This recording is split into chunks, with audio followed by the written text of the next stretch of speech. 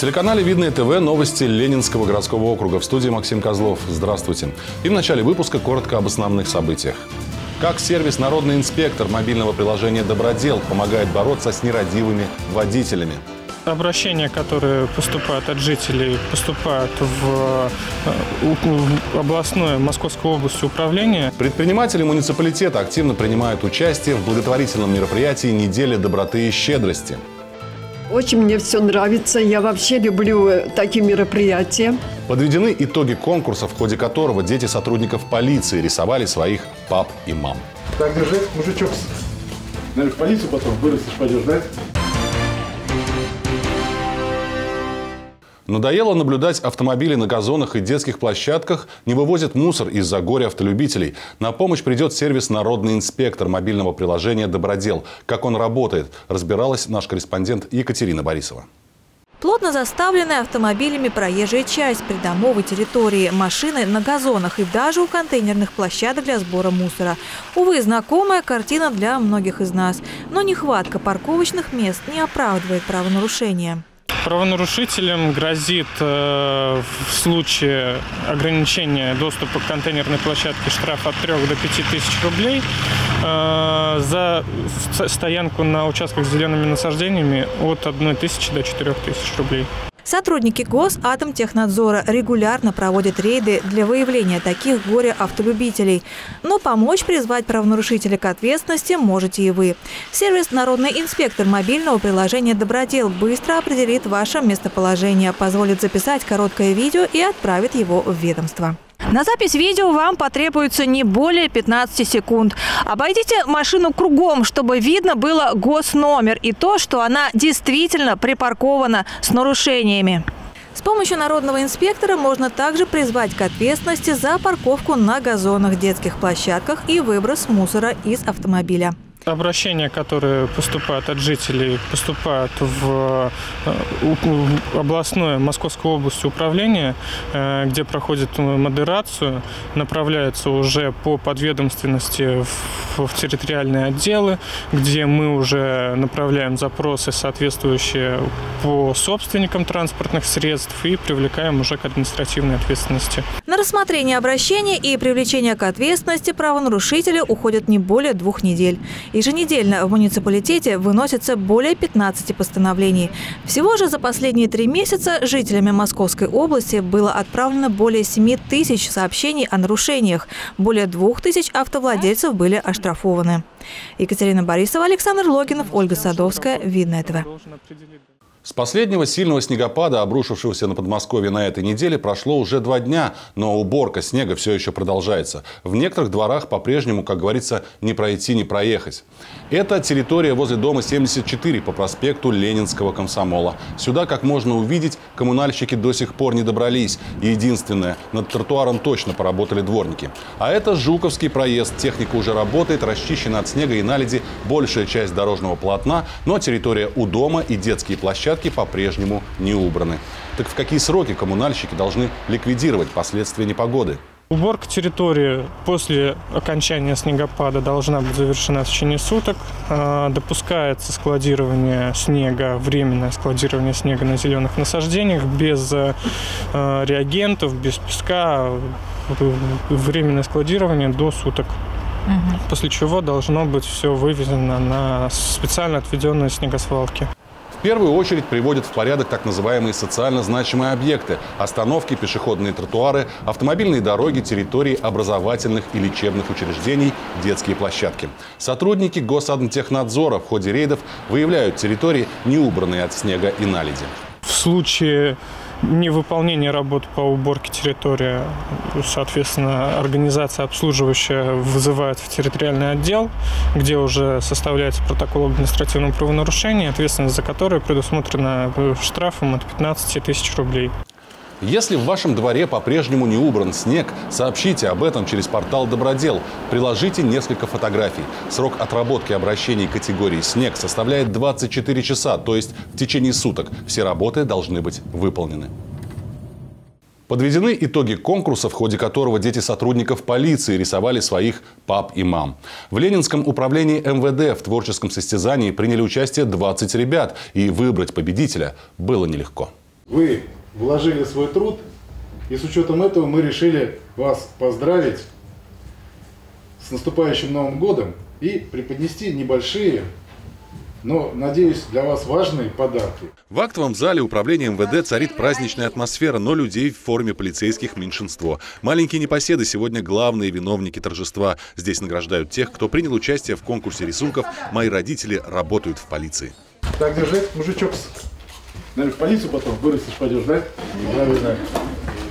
7 октября стартовала всероссийская акция, в рамках которой дети работников полиции рисовали своих мам и пап. В Ленинском управлении МВД в конкурсе приняло участие 20 ребят, которые получили награды в трех возрастных категориях. Дети есть дети.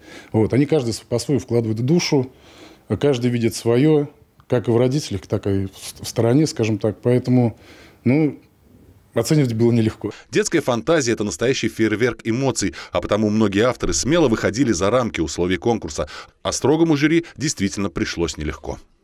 Я нарисовала маму, Бекки и себя. Я нарисовала папины предметы, которые нуждаются в работе. Какие то предметы? Это наручники, пистолет, патроны и фуражка.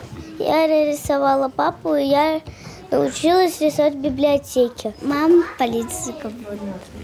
А, ты у нас кого нарисовала? Я нарисовала маму медсестру со мной. Практически все участники в этот день получили дипломы и сладкие подарки. Ну а какие же подарки без обязательных стихов? Яркими шарами радует народ. Скажем вместе с нами «Здравствуй, Новый год!» Конкурс детского рисунка «Мои родители работают в полиции» проводится с 2014 года. Максим Козлов, Сергей Ларин, Елена Кошелева. Видное ТВ.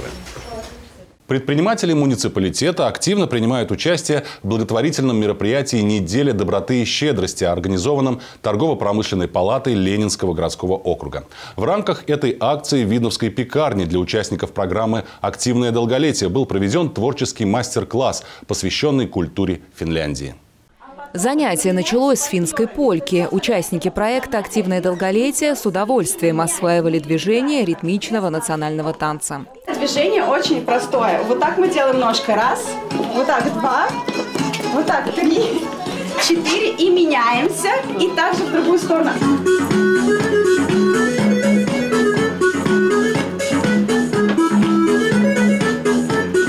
Творческим вдохновителем мастер-класса выступила предприниматель Ольга Романова. Такие мероприятия она проводит на постоянной основе не только для людей старшего поколения, но также и детей.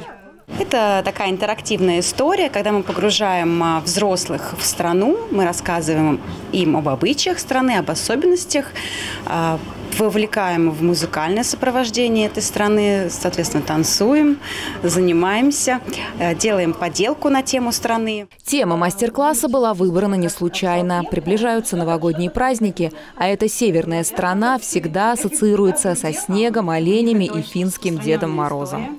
Очень мне все нравится. Я вообще люблю э, такие мероприятия. Э, в общем, всегда это поднимает настроение. И тем более перед Новым годом. В познавательной части гостям рассказали о культуре и традициях финского народа.